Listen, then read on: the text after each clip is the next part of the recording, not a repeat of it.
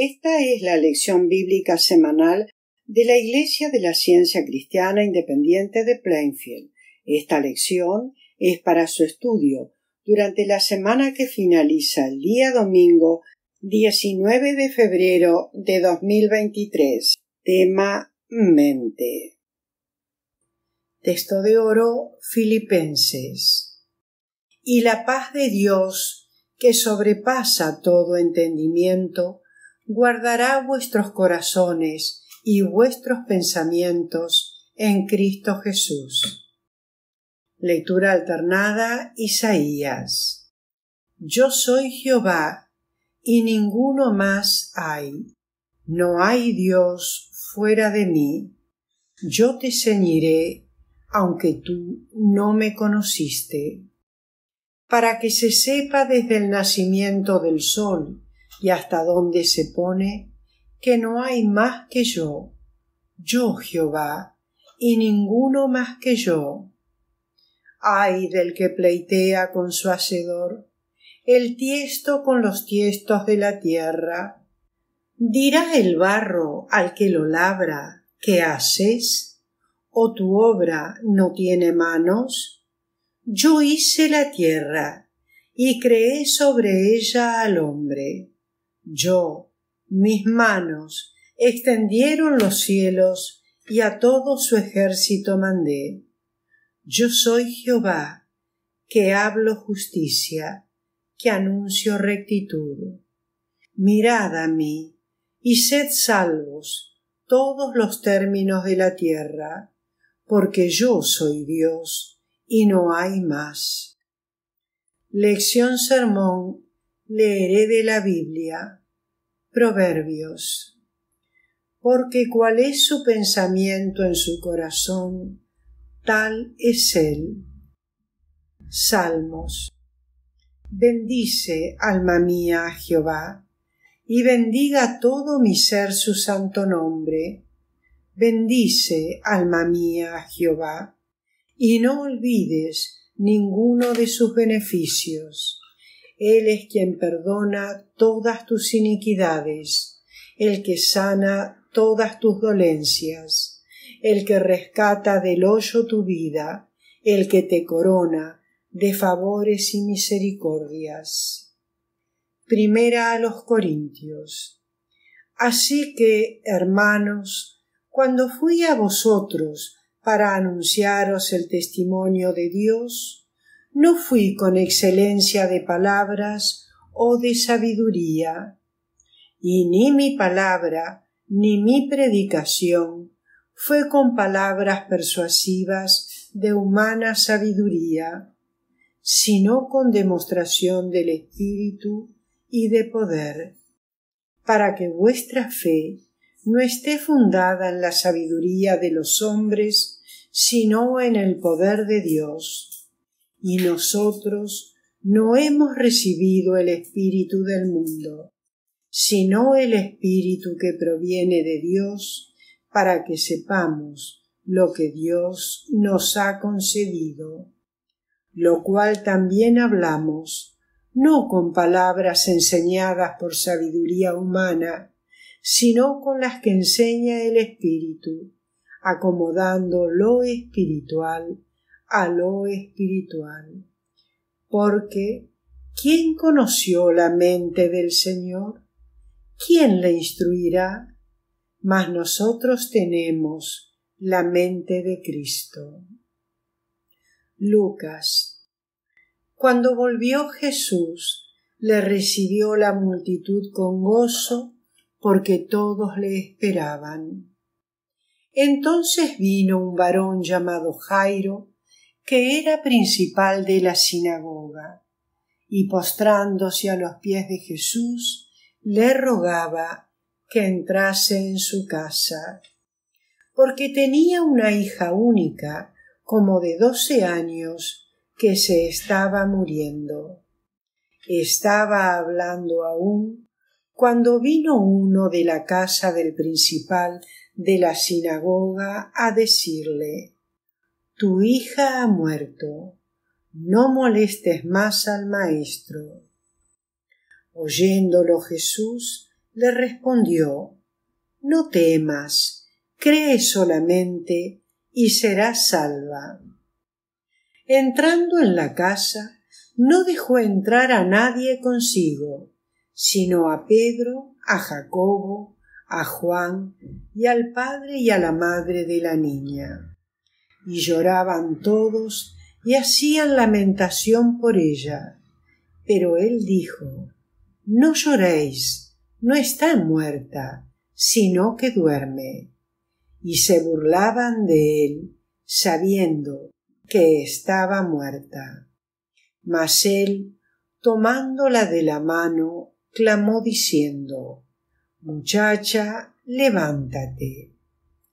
Entonces su espíritu volvió e inmediatamente se levantó y él mandó que se le diese de comer. Y sus padres estaban atónitos. Marcos. Cuando llegó a donde estaban los discípulos, vio una gran multitud alrededor de ellos. Y respondiendo uno de la multitud, dijo, Maestro, traje a ti a mi hijo, que tiene un espíritu mudo, el cual, donde quiera que le toma, le sacude y echa espumarajos y cruje los dientes y se va secando. Y dije a tus discípulos que lo echasen fuera, y no pudieron. Y respondiendo él les dijo, Oh generación incrédula, ¿hasta cuándo he de estar con vosotros? ¿Hasta cuándo os he de soportar? Traédmelo. Jesús preguntó al Padre, ¿Cuánto tiempo hace que le sucede esto? Y él dijo, desde niño, y muchas veces le echa en el fuego y en el agua para matarle pero si puedes hacer algo, ten misericordia de nosotros y ayúdanos. Jesús le dijo, Si puedes creer, al que cree, todo le es posible. E inmediatamente el padre del muchacho clamó y dijo, Creo, ayuda mi incredulidad. Y cuando Jesús vio que la multitud se agolpaba, reprendió al espíritu inmundo, diciéndole Espíritu mudo y sordo, yo te mando, sal de él y no entres más en él. Entonces el espíritu, clamando y sacudiéndole con violencia, salió, y él quedó como muerto de modo que muchos decían está muerto. Pero Jesús, tomándole de la mano, le enderezó y se levantó. Efesios. Yo, pues, preso en el Señor, os ruego que andéis como es digno de la vocación con que fuisteis llamados, con toda humildad y mansedumbre, soportándoos con paciencia los unos a los otros en amor, solícitos en guardar la unidad del espíritu en el vínculo de la paz, un cuerpo y un espíritu, como fuisteis también llamados en una misma esperanza de vuestra vocación. Un Señor, una fe, un bautismo, un Dios y Padre de todos, el cual es sobre todos y por todos y en todos.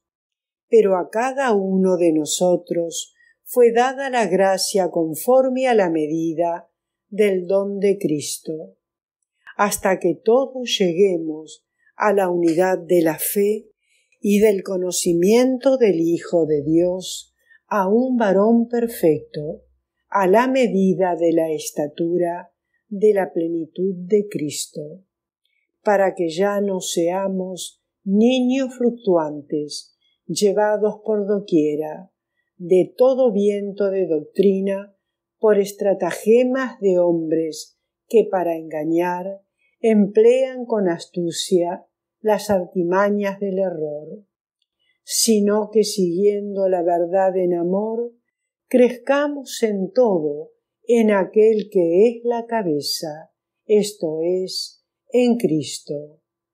En cuanto a la pasada manera de vivir, despojaos del viejo hombre que está viciado conforme a los deseos engañosos, y renovaos en el espíritu de vuestra mente, y vestíos del nuevo hombre, creado según Dios, en la justicia y santidad de la verdad. Ahora leeré los pasajes correlativos del libro de texto de la ciencia cristiana, Ciencia y Salud, con la llave de las Escrituras, por Mary Becker Eddy. Pregunta. ¿Qué es mente? Respuesta. Mente es Dios. Lo que extermina al error es la gran verdad que Dios, el bien, es la mente única, y que el supuesto contrario de la mente infinita, llamada diablo o mal, no es mente, no es verdad, sino error, sin inteligencia ni realidad. No puede haber sino una sola mente, porque no hay sino un solo Dios. Y si los mortales no pretendieran otra mente, ni aceptaran otra, no se conocería pecado. La mente divina que creó al hombre mantiene su propia imagen y semejanza. La mente humana se opone a Dios y hay que despojarla como declara San Pablo. Todo lo que realmente existe es la mente divina y su idea, y en esa mente todo el ser se halla armonioso y eterno. El camino recto y estrecho consiste en ver y reconocer ese hecho, ceder a ese poder y seguir las indicaciones de la verdad. Tenemos pruebas abrumadoras de que la mente mortal pretende gobernar todos los órganos del cuerpo mortal. Pero esa llamada mente es un mito y por su propio consentimiento tiene que someterse a la verdad. Quisiera empuñar cetro de monarca, mas carece de poder. La mente divina e inmortal le quita a la mente mortal toda su supuesta soberanía y la libera de sí misma. Nuestro sistema de curación por la mente descansa sobre la comprensión de la naturaleza y esencia de todo el ser, sobre la mente divina y las cualidades esenciales del amor. Su farmacia es moral y su medicina es intelectual y espiritual, aun cuando se utilice para la curación física. Sin embargo, esa parte tan fundamental de la metafísica es la más difícil de comprender y demostrar, porque para el pensamiento material todo es material, hasta que ese pensamiento sea rectificado por el Espíritu.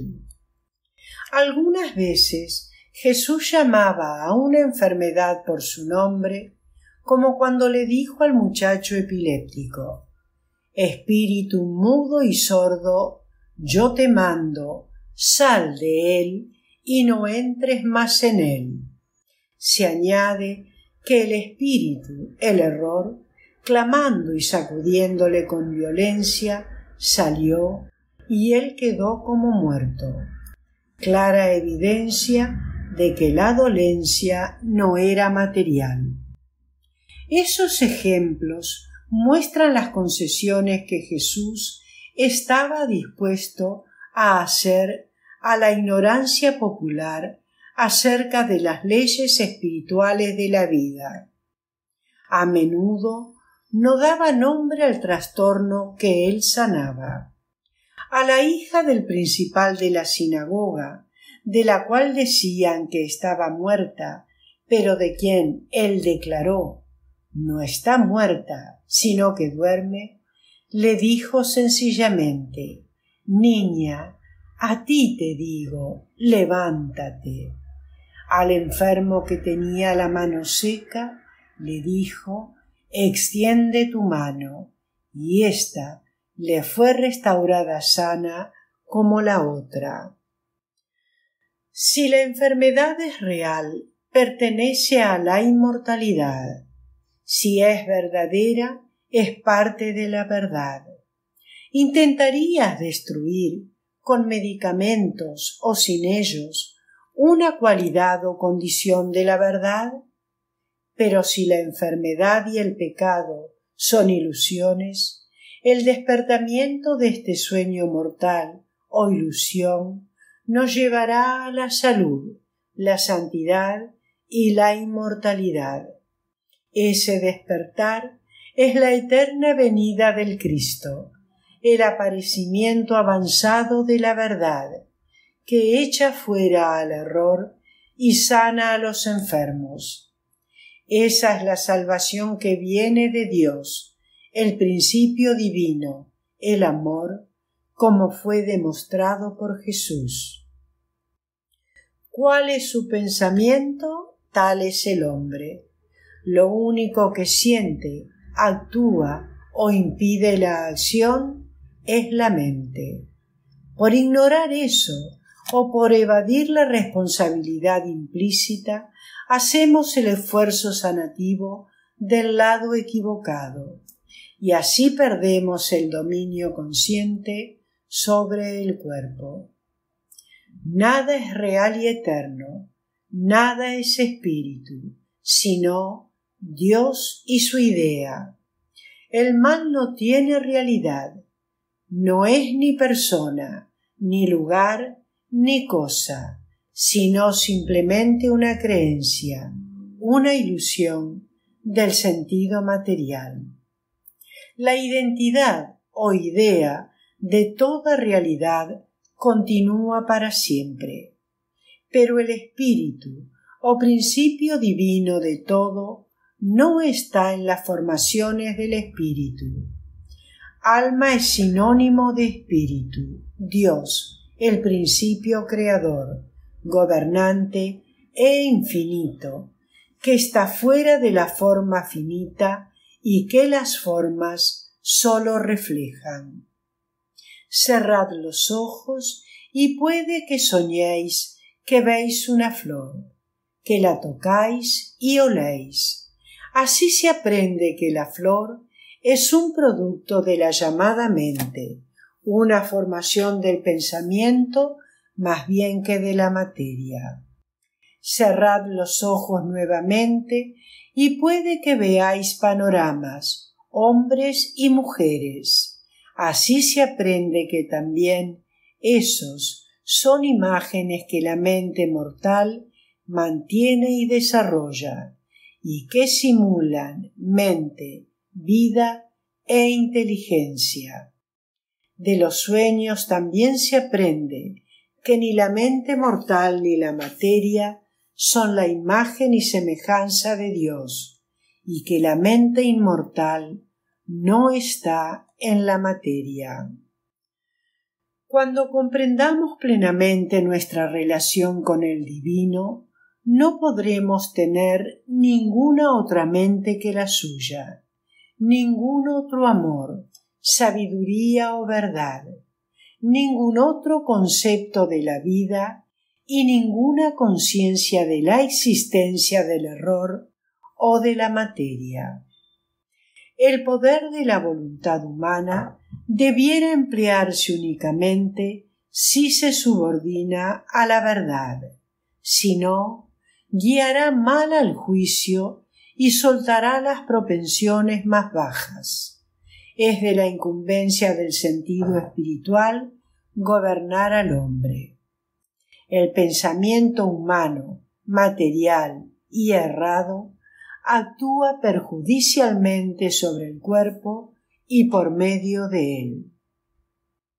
El tener un solo Dios, una sola mente, desarrolla el poder que sana a los enfermos y cumple estas palabras de las Escrituras. Yo soy Jehová tu sanador, y yo he hallado rescate. Cuando los preceptos divinos son comprendidos, desarrollan la base de la fraternidad, en la cual una mente no está en guerra con otra, sino que todos tienen un solo espíritu, Dios, un mismo origen inteligente, de acuerdo con el mandato bíblico. Tened dentro de vosotros esa mente que estaba también en Cristo Jesús. El hombre y su Hacedor están correlacionados en la ciencia divina y la conciencia verdadera sólo tiene conocimiento de las cosas de Dios. Y solemnemente prometemos velar y orar porque haya en nosotros aquella mente que hubo también en Cristo Jesús, hacer con los demás lo que quisiéramos que ellos hicieren con nosotros, y ser misericordiosos, justos y puros. Los deberes diarios por Mary Baker Eddy. Oración diaria. Será deber de cada miembro de la Iglesia orar diariamente. Venga tu reino. Haz que el reino de la verdad, la vida y el amor divinos se establezcan en mí, y quita de mí todo pecado, y que tu palabra fecunde los afectos de toda la humanidad y la gobierne. Una regla para móviles y actos. Ni la animosidad, ni el mero afecto personal deben impulsar los móviles o actos de los miembros de la Iglesia Madre. En la ciencia, sólo el amor divino gobierna al hombre, y el científico cristiano refleja la dulce amenidad del amor al reprender el pecado, al expresar verdadera confraternidad, caridad y perdón. Los miembros de esta Iglesia deben velar y orar diariamente para ser liberados de todo mal, de profetizar, juzgar, condenar, aconsejar, influir o ser influidos erróneamente. Alerta al deber. Será deber de todo miembro de esta Iglesia defenderse a diario de toda sugestión mental agresiva, y no dejarse inducir a olvido o negligencia en cuanto a su deber para con Dios, para con su guía y para con la humanidad. Por sus obras será juzgado y justificado o condenado. Prestar atención. Para los científicos cristianos, Verciencia y Salud, página 442, renglón 30, y prestarle atención diaria a ello. Científicos cristianos, sed una ley para con vosotros mismos, que la mala práctica mental no puede dañaros, ni dormidos ni despiertos.